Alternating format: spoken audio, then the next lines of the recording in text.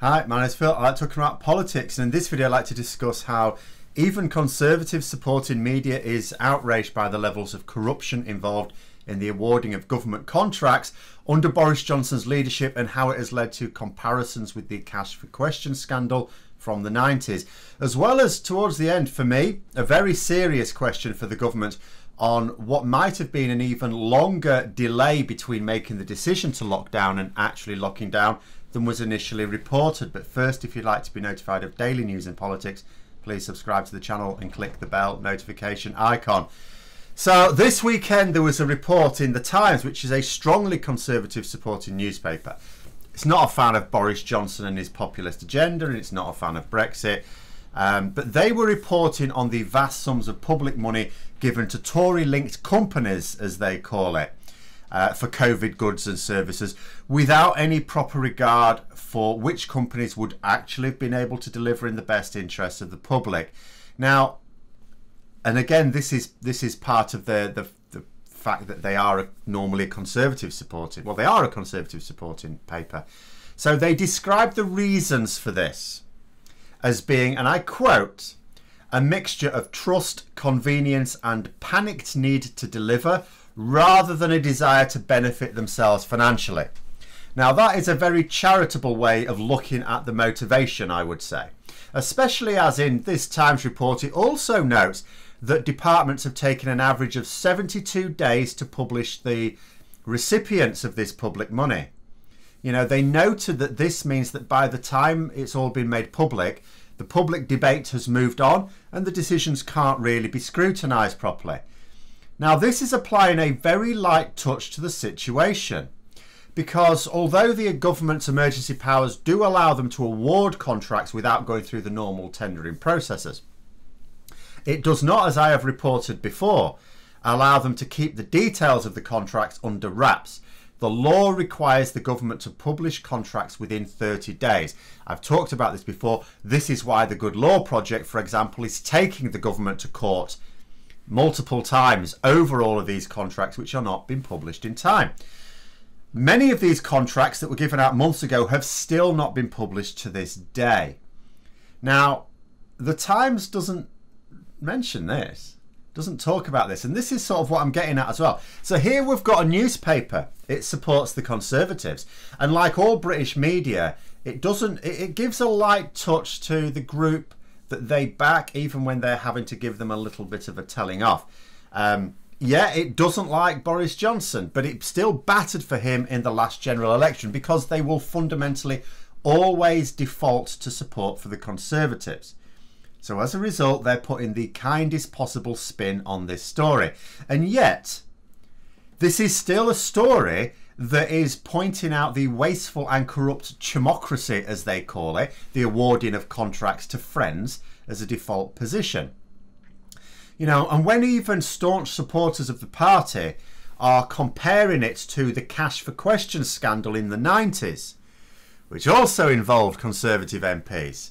Um, the, the idea for those who don't recall or, or don't know, um, MPs were asking questions in Parliament as a result. I mean, it's normal to ask questions in Parliament as a result of lobbying, but they were being paid for it. Uh, it was a bit of a scandal, and uh, the whole thing stank. And it's doing so again. You know, regardless of political leanings, this latest example is uh, it stinks even worse in many ways. And the report doesn't just talk about the awarding of contracts to friends, though. It also talks about bringing in those friends to the party to, for, for meetings with ministers who then receive large contracts. Now imagine that. So what you've got here is you've got the people who are being awarded the contracts are actually involved in the meetings where ministers are deciding who to award the contracts to. I mean, can you imagine that? You're going around the table, oh, you know, who might be best to award this contract? And then you got someone there go, oh, I mean, I could probably do it you know, I, I, I could do it.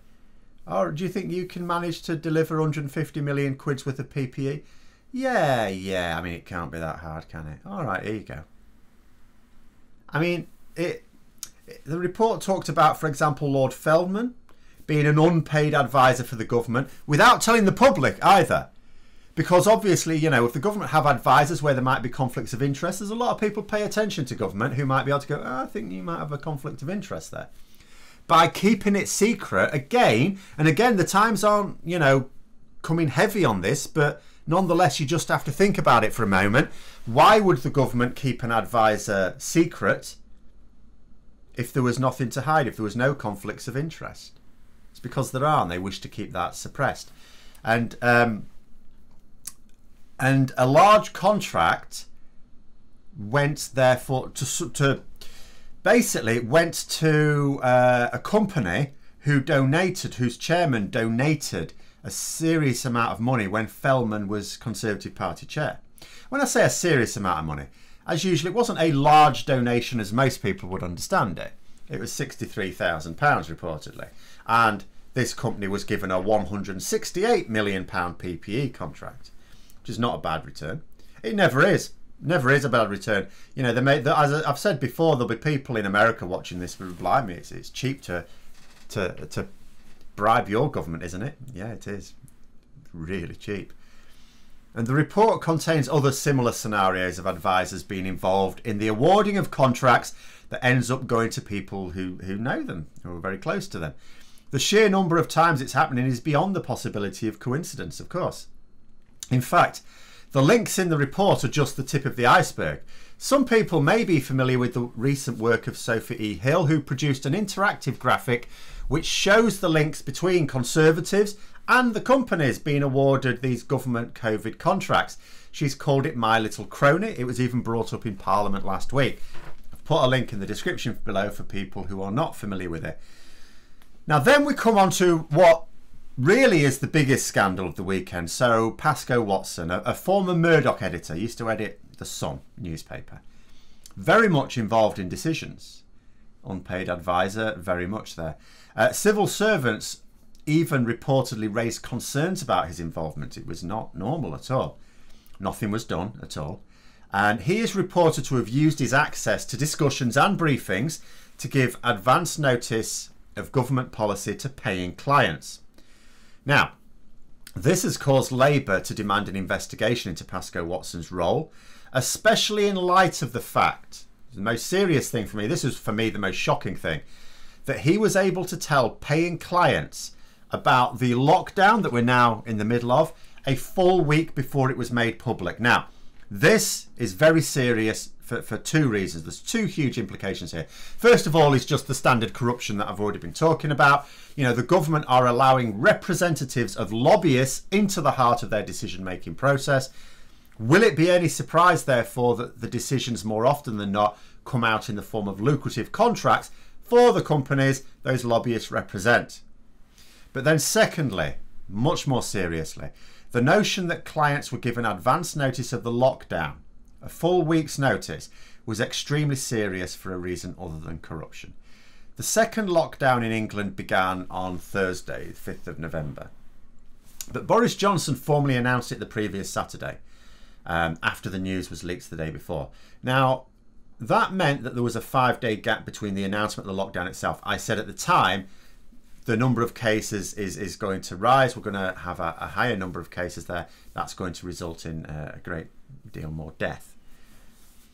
So in, if we go by the death rate, which has a lag on it, of course, but just to highlight how the figures look.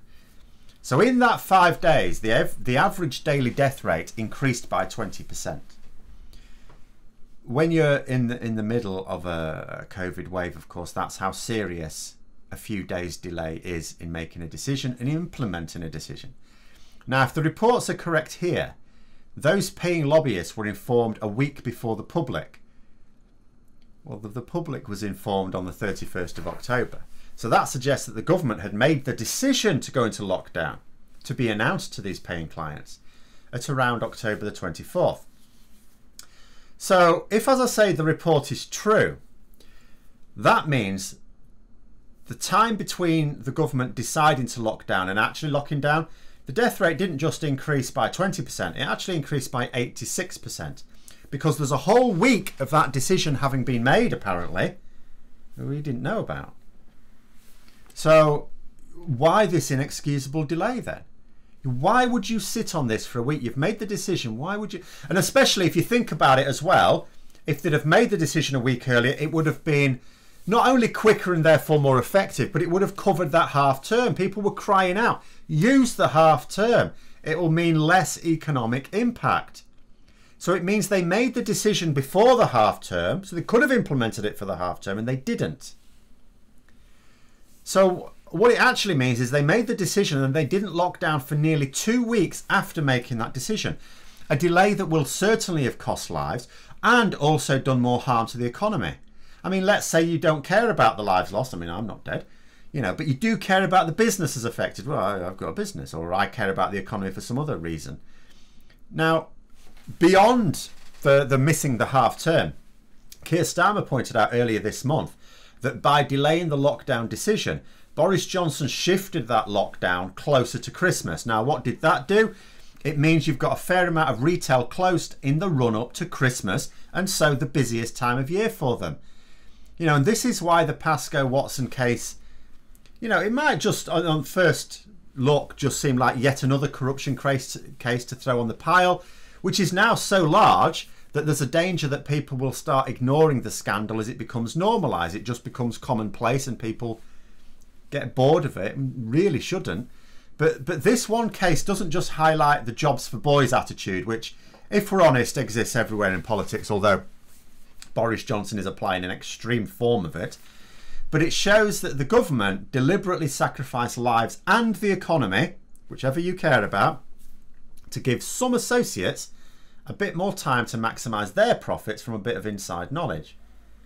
Labour have also asked, in part of the investigation, how these lobbyists and their clients benefited from the information as well. Now that'll be important because I think we'd all like to know what profit was made, what benefit was given to this small group of lobbyists that made the lives of, of people who succumbed to COVID worth losing as a result of the lockdown delay. Because ordinarily, you know, um, I mean, the government rebuttal, just, you know, throw this in there, what the government said to all this for those interested was that well, it's quite right. Unprecedented pandemic. It's quite right that we draw upon expert advice from the private sector. Okay, all right then. See, ordinarily this advice might work, except of course, um, in a situation where, as a result of that advice, you spend hundreds of millions of pounds on PPE that either never arrived or did arrive but was the wrong sort and had to be recalled. Or you put a serial cock-up merchant in charge of the ultra crucial test and trace that then apparently to the surprise of government was cocked up spectacularly. And then you put in charge of our vaccine rollout operation a venture capitalist who by her own admission knew nothing about vaccines. When she was rung up by boris johnson to ask her to head it all up she said i, I don't know anything about vaccines. Oh that's fine. You'll be fine I'm sure we're all looking forward to the professional way in which the vaccine is rolled out across the UK next year as well. But those are my thoughts. Let me know yours in the comments below. Hope you found the video interesting. If you did, don't forget to click the like button. And if you'd like to support the channel further, please also click the Patreon link for details. And until next time, I'll see you later.